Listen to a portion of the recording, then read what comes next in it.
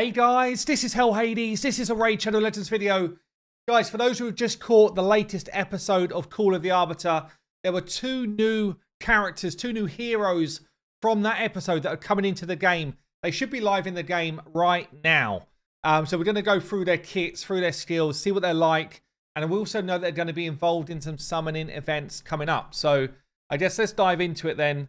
Um, at this moment in time, I have not seen the Call of the Arbiter episode, but no doubt I will follow up as soon as we know with the kind of Call of the Arbiter codes that pop up along the way as well. Let's get into this. The first one up, uh, I guess let's show you the visual of them first. So yeah, the first one up here is Lady of Ireth, who is going to be a Sylvan Watcher legendary. She's actually going to be available on the on this weekend as a 10 times summon whilst we've got the two times chance on sacreds. I think I got that right. Yeah, so we've got two times chance on Sacreds coming up anyway. Most people will be pulling shards if they're involved in this fusion, if they've got some left. And she's going to be on a 10 times during that. So pretty damn uh, cool, actually. That's, that's a nice thing to do if she's a good champion. We will see in a minute. Uh, what are you saying about the visual here? Looks pretty Robin Hood-esque. Generally got that kind of like support healer type vibe. I guess let's have a look at the other visual before we get into kits and stuff. This basically is Bad-el before he turns into the kind of like proper dark Bad-el. So he's he's Valkanen, um, which is the original kind of Bad-el before he gets corrupted or whatever goes on. As I say, not seen the episodes yet, but and maybe we don't even get all of that info in terms of how he turns into like the proper Bad L yet. But damn, definitely a pretty cool looking vibe on this dude. I love the, like the swirling skulls around his hand. Obviously got that dark magic going down. Right then, let's take a look here. Lady of Ireth. So new Sylvan Watcher support champion. I'll say they've got a decent level of support champions right now. And you know, this is going to be another one that they add in the mix. I feel like they need some damage, really. But anyway, uh, maybe that's due to come. So yeah, we've got Sylvan Watcher. Let's just have a quick look at this faction. Because we've already got Elva, great support, legendary. Oella, decent support, legendary as well. Not crazy, but decent. King Galkabar. I guess they're classing Alil as a big damage dealer. And he is, in fairness, he's just not like top tier. Ruark, kind of like, you know, bit in betweeny. So, yeah, it feels like the legendaries are quite heavily weighted towards support at the moment. Anyway, let's have a look. Fey Bolt, A1, attacks one enemy, instantly activates one random continuous heal buff on all allies with less than 85% health.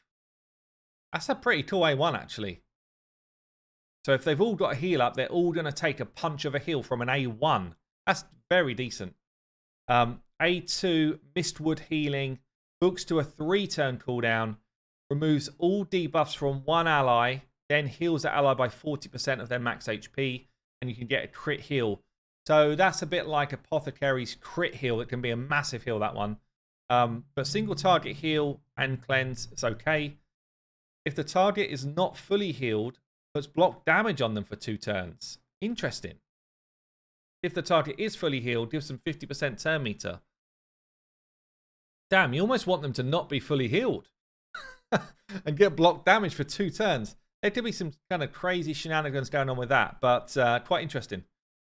Rhythmic strength then for the A3. Books to a three turn. Big strength and buff and continuous heal buff on all allies for two turns. It's pretty decent on a three turn cooldown. Strengthen's very underrated as a buff. Yeah, basically just take 25% less damage straight out of any any damage that's coming at you. So that's pretty cool. Obviously, as a buff, though, can be removed, all that type of stuff. Aegis of the Forest as a passive, then. This has got a, a two turn cooldown, but it books to a zero. Places a shield buff equal to 15% of this champion's max HP on the ally with the lowest health for two turns at the start of her turn. So if you book it down, basically every time she gets a turn, someone's getting a 15% shield based on her HP. That's the important part. It's her HP. So you just pump her HP up and you're going to get massive shields on probably people that are about to die. HP in all battles as an aura. I'd say it's a decent kit. Like, you almost want this to be a team heal for it to be a crazy kit. Decent kit, nothing too extraordinary. Certainly for this faction, she's going to go on to that kind of like onto the, the realm of good support champions. Elva's already great. Kladna's not bad. Um, but in a different style. In fact, she's not that great. Yeah, Elva's certainly very good. Oella's half decent. And this one goes in there as probably a really strong healer as well. Healer stroke support. So let's take a look then at uh, Valkanen. So first thought is there's a lot going on because it's over two pages. So Valkanen, Void Legendary from the Undead Hordes. Okay, obviously it's undead. He's going to be, he's going to turn into Bad-el at some point. So let's see what's going on there. Look at this kit. It's massive. Literally like two kits rolled into one. Right. Void Legendary. Is he worthy of the Void Legendary title? We've got here attacks one enemy. Dread Scythe. Attacks one enemy. The attack ignores shields. 60% books to 80% chance of increasing the duration of all debuffs on the target by a turn. It's pretty solid, actually. And then we've got books to 100% chance of applying debuff spread. So it takes two random debuffs from the target and places them on all enemies under Hex. Damn. That's pretty nutty for Hydra, honestly. Like, that's a pretty nutty A1. Like, lots going on there for an A1. Hex of Blades then. Books to a three turn. We've got here attacks all enemies. This attack deals single target damage to each target individually instead of doing AoE damage. That's really important actually. So the, the reason why that's so good is like Hydra heads, for example, have a load of damage mitigation from AoE hits. Loads of, oh, quite a few kind of top tier champions have passives which stop damage coming from AoE hits, like a, a Duchess, for example. So that could end up being pretty damn sexy.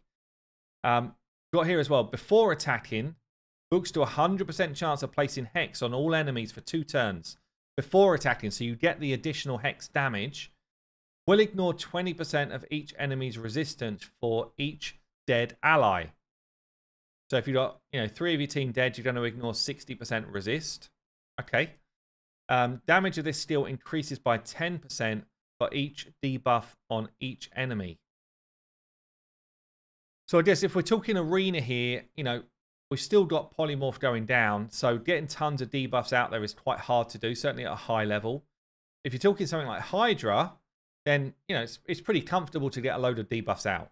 So you could end up having like four or five debuffs out easily.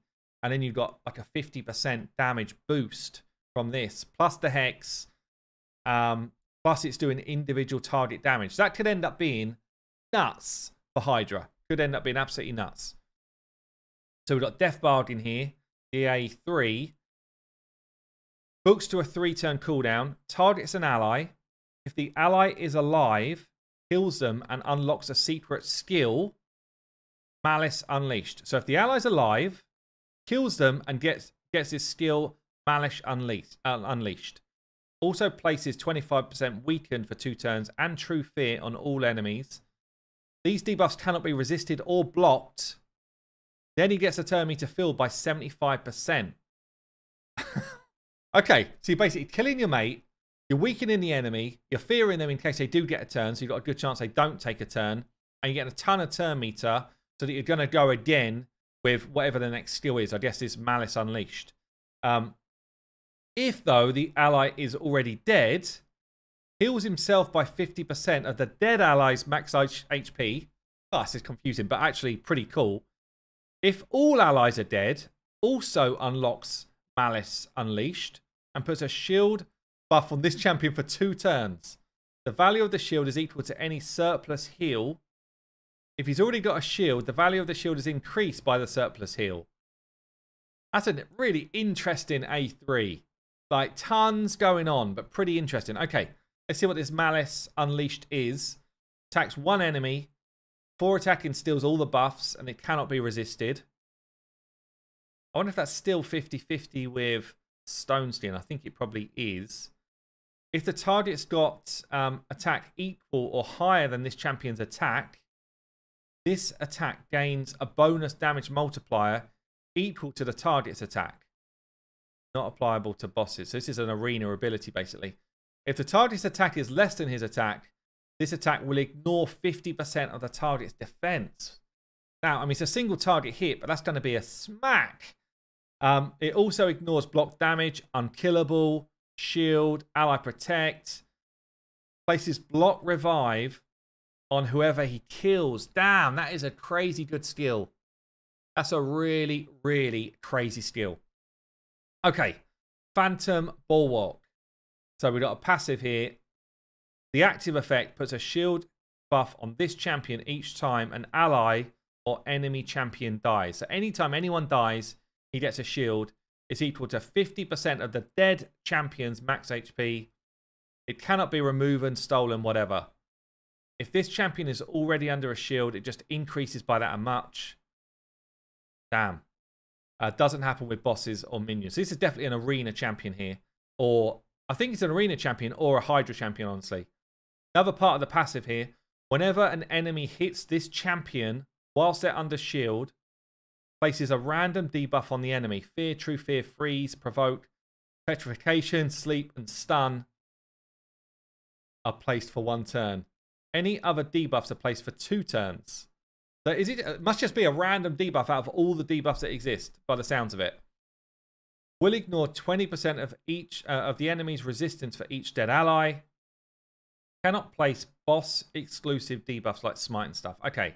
And then we got a 30% arena aura. There's a lot going on in this dude's kit. There was an awful lot going on. I'd say he's super cool for Hydra because of his A1 and A2. And then I think he's got some pretty funky live arena arena mechanics. I don't know if he's a main arena champion so much. Could be. Depends how hard this A2 hits, I guess. But definitely some funky stuff going on. I think we're going to see a ton of playtesting with this dude once he is actually out in the game and people start picking him up. But let me know what you think of the two champions. Um, we've got Valkyrie and we've got Lady of Ireth. And I guess let me know what you thought of them in Call of the Arbiter. I've been Hell Hades. I'll see you later.